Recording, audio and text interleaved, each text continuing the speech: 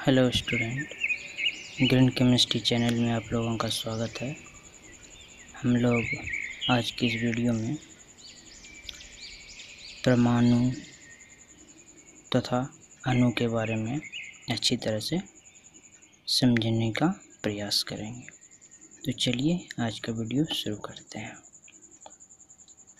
देखिए, परमाणु, अर्थात एटम देखिए डाल्टन एक वैज्ञानिक था, जिसके अनुसार कहा गया कि परमाणु अविभाज्य है, अर्थात परमाणु को विभाजित नहीं किया जा सकता है। लेकिन कुछ वैज्ञानिकों के द्वारा इस, इनके इन कथनों को निरस्त कर दिया गया, अर्थात रद्द कर दिया गया, क्योंकि परमाणु से भी छोटा कण प्राप्त हुआ, अर्थात परमाणु को विभाजित करके उसके अंदर से भी कुछ कण प्राप्त हुए, जैसे इलेक्ट्रॉन, प्रोटॉन, न्यूट्रॉन आदि। तो चलिए हम लोग इसका पहले परिभाषा देख लेते हैं। तो देखिए, किसी तत्व का वह सूक्ष्मतम कण जिसमें उस तत्व के सभी गुण पाए जाते हैं एवं रासायनिक अभिक्रिया में भाग लेता है परमाणु कहलाती है। कहने का अर्थ क्या हुआ कि परमाणु जो है, वह तत्व का सबसे सूक्ष्मतम कण है, जिसमें उस तत्व के सभी गुण पाए जाते हैं। अर्थात, अगर उस तत्व के एक परमाणु का अध्ययन कर लिया जाए और उस परमाणु के बारे में पता कर लिया जाए तो उस तत्व के बारे में भी, उस उस तत्व के गुण के बारे में भी पता हो जाता है। तो तत्व का सबसे सूक्ष्मतम ज्ञान कण क्या है? परमाणु जैसे कि हम लोगों ने तत्व की परिभाषा से जान चुके हैं। तो देखिए, एक तरह से परमाणु को गोलाकार माना जाता है और कहा जाता है गोलाकार माना जाता है और परमाणु के बीच में एक नाभिक होता है और उस नाभिक के चारों ओर कक्षा होती है और उस कक्षा में इलेक्ट्रॉन चक्कर काटता है और नाभिक जो है वह धन आवेशित होता है और कक्षा में जो इलेक्ट्रॉन होते हैं वे ऋण आवेशित होते हैं। तो नाभिक के अंदर जो मुख्य रूप से प्रोटॉन और न्यूट्रॉन पाया जाता है और इन दोनों को मिलाकर न्यूक्लियॉन्स कहा जाता है। तो देखिए, इस तरह से याद रखना है कि परमाणु गोलाकार होता है, इसके केंद्र में नाभिक होता है और इस नाभिक के अंदर प्रोटॉन और न्यूट्रॉन पाए जाते हैं। इसके अलावा भी और सारे कण पाए जाते हैं, लेकिन मुख्य रूप से प्रोटॉन और न्यूट्रॉन पाए जाते हैं।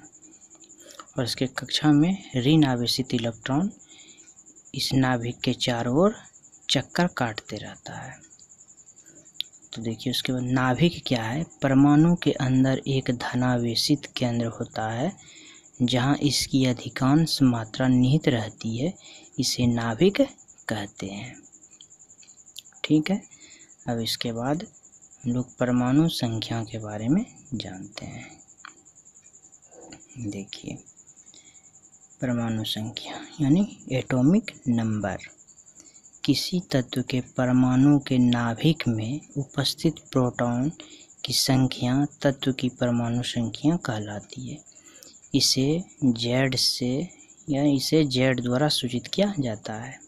देखिए तो परमाणु संख्या किसे कहा जाता है? जो ये परमाणु है, इस परमाणु के अंदर में प्रोटॉन और न्यूट्रॉन होता है। तो इसमें जितना प्रोटॉन है, उस प्रोटॉन की संख्या को ही उस परमाणु का परमाणु संख्या कहेंगे, ठीक? और देखिए तो क्या हो गया? तत्व की परमाणु संख्या, यानी जेड बराबर नाभिक में उपस्थित प्रोटॉन की संख्या। प्रोटॉन को प्राय पी से सूचित किया जाता है। और देखिए या तो तत्व की परमाणु संख्या बराबर होता है कक्षाओं में उपस्थित इलेक्ट्रॉन की संख्या। अर्थात जितना प्रोटॉन होगा किसी भी परमाणु में, उतना इलेक्ट्रॉन भी होगा। इसी कारण परमाणु क्या होता है, उदासीन होता है। जितना धन आवेश, उतना ऋण आवेश। अर्थात धन आवेश और ऋण आवेश दोनों मिलकर क्या करता है, परमाणु को उदासीन बना देता है। ठीक? तो इसीलिए जितना प्रोटॉन होगा, उतना इलेक्ट्रॉन भी होगा। और इसीलिए हम परमाणु संख्या को नाभिक में उपस्थित, प्रोटॉन की संख्या और कक्षा में उपस्थित इलेक्ट्रॉन की संख्या के द्वारा ज्ञात करते हैं। अर्थात जेड बराबर पी बराबर ई चलिए अब इसके बाद और आगे देखते हैं। अब देखिए, परमाणु द्रव्यमान संख्या अर्थात एटॉमिक मास नंबर। देखिए, द्रव्यमान संख्या क्या है या परमाणु द्रव्यमान संख्या क्या इसके बारे में जानते हैं। किसी तत्व के परमाणु के नाभिक के अंदर उपस्थित प्रोटॉन एवं न्यूट्रॉन की संख्या के योग को द्रव्यमान संख्या या परमाणु द्रव्यमान संख्या कहते हैं। इसे ए से सूचित किया जाता है, अर्थात किसी भी परमाणु में, परमाणु का जो नाभिक है, उस नाभिक के अंदर क्या होता है? प्रोटॉन और न्यूट्रॉन। तो जितना प्रोटॉन और जितना न्यूट्रॉन, उन दोनों के योग को ही, उन दोनों के जोड़ को ही क्या कहा जाता है? परमाणु द्रव्यमान संख्या। देखिए, ए बराबर पी प्लस एन, ए क्या है? परमाणु द्रव्यमान संख्या। पी क्या है? प्रोटॉन की संख्या एन क्या है? न्यूट्रॉन की संख्या। ए बराबर, परमाणु द्रव्यमान संख्या। पी प्रोटॉनों की संख्या एन न्यूट्रॉन की संख्या। देखिए, एक हाइड्रोजन ही एक ऐसा तत्व है, जिसके अंदर में न्यूट्रॉनों की संख्या ज़ीरो होता है। अर्थात उसमें न्यूट्रॉन नहीं पाया जाता है, सिर्फ़ उसमें प्रोटॉन ही पाया जाता है। तो देखिए देखिए किसी भी तत्व को मान लेते हैं, मगर एक्स से सूचित करें तो उसके ऊपर जो संख्या लिखी होती है, वह परमाणु भार को दर्शाता है, और उसके नीचे जो संख्या लिखी होती है, उसे परमाणु द्रव्यमान संख्या कहते हैं।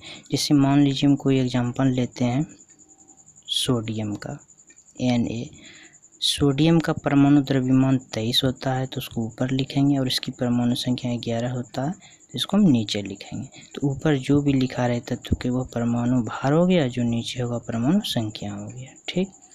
देखिए। अब इसके बाद कुछ प्रश्न उस प्रश्नों को देख लेते हैं। देखिए, क्या कहा गया सोडियम की परमाणु संख्या ग्यारह है, तथा द्रव्यमान संख्या तेईस है। इसमें न्यूट्रॉन की संख्या ज्ञात कीजिए। तो देखिए, न्यूट्रॉन यानी एन हम लोग जानते हैं ए बराबर क्या होता है? पी प्लस एन तो ए का दिया हुआ है मान और पी का भी मान दिया हुआ है। तो हम एन का मान निकाल सकते हैं। देखिए ए बराबर क्या हो गया? पी प्लस एन तो ए की संख्या यानी प्रमाण, द्रव्यमान संख्या कितना? तेईस। तो तेईस यहाँ पे रख देते हैं। उसके बाद प्रोटॉन की संख्या यानी परमाणु की जितनी संख्या होती है, उसी को ही प्रोटॉन की संख्या कहते हैं, अर्थात ग्यारह दिया हुआ है। अब प्लस हमको क्या निकालना है? न्यूट्रॉन की संख्या एन तब देखिए तो एन बराबर क्या हो जाएगा? एलेवन उस तरफ़ जाएगा तो तेईस माइनस ग्यारह तो कितना हो जाएगा? दो और एक।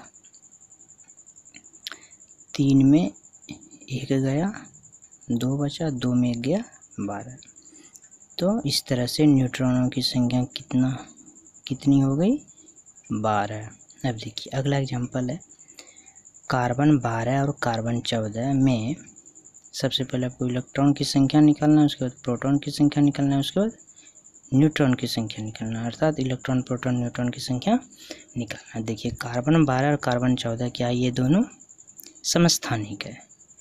अर्थात समस्थानिक किसे कहा जाता है? वैसे दो तत्व, जिनके परमाणु संख्या समान हो लेकिन द्रव्यमान संख्या भिन्न भिन्न हो, उसे समस्थानिक कहा जाता है। कार्बन बारह और कार्बन चौदह क्या है? एक समस्थानिक है। तो इसका हम लोग अब वैल्यू निकालते हैं। तो इलेक्ट्रॉन की संख्या क्या होता है? हम लोग पीछे जान चुके हैं कि जितना परमाणु संख्या होता है, अर्थात जेड उतना प्रोटॉन की संख्या और उतना इलेक्ट्रॉन की संख्या। तो पहला वाला में क्या हो जाएगा? परमाणु जेड क्या हो गया? परमाणु संख्या। देखिए तो यहाँ पे क्या दिया हुआ है? परमाणु भार दिया हुआ है, अर्थात अब देखिए, सबसे पहले कार्बन बारह के लिए हम लोग निकाल लेते हैं। कार्बन बारह। कार्बन बारह में देखिए, क्या दिया हुआ? है ए दिया हुआ है। तो हम लोग जानते हैं ए बराबर क्या होता है? पी प्लस एन तो ए का वैल्यू कितना है? बारह। अब बराबर देखिए, हम लोग जानते हैं कार्बन का परमाणु संख्या कितना होता है? छः ठीक? और देखिए, प्लस कितना? एन।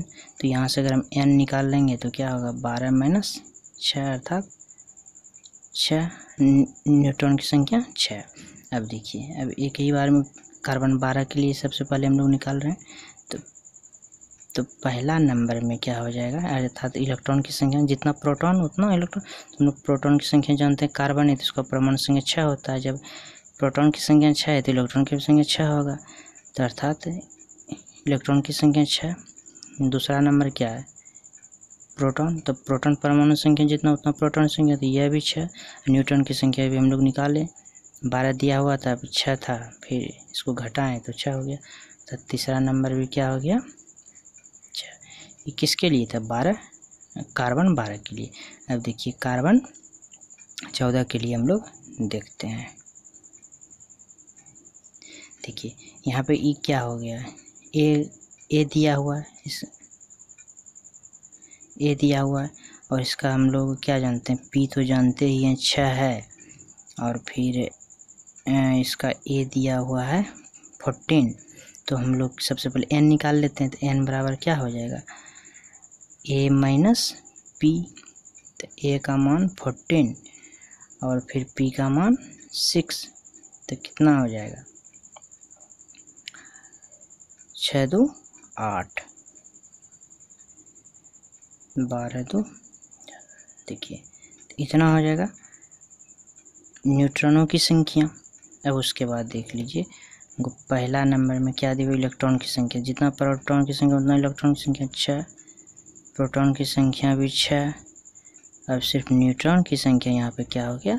ज़्यादा यानी आठ हो गया, क्योंकि परमाणु भार ज़्यादा था। तो इस तरह से हम लोग आज परमाणु संख्या निकालना जान गए, प्रोटॉन की संख्या, न्यूट्रॉन की संख्या, ये सब निकालना जान गए। अब अगले वीडियो में जो है हम लोग अणु के बारे में पढ़ेंगे। तो मैं उम्मीद करता हूँ आप लोगों को ये समझ में आया होगा और आप लोग इस तरह का प्रश्न और अभ्यास कीजिए किताबों से चलिए।